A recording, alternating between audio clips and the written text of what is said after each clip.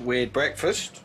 Oh, it's for Lexi. I mean, I barely did this stuff for her school, and now summer club want me to dress her like a bee. I mean, who even knows how to do that anyway? And bees totally gross me out. You're scared of bees? No. Oh, Lexi, we have got to make this. as soon as I've seen Sharon, I'm popping right back.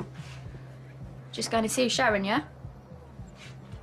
It's just after what you said last night Remind me. about blowing your dad's head off. Come on, Ben. He's asked you to look after E20. He wouldn't ask you that if he didn't think something of you, would he? Well, he wouldn't do anything him without a head, would he? I want to be a bee. Oh, well, there goes my morning then, eh?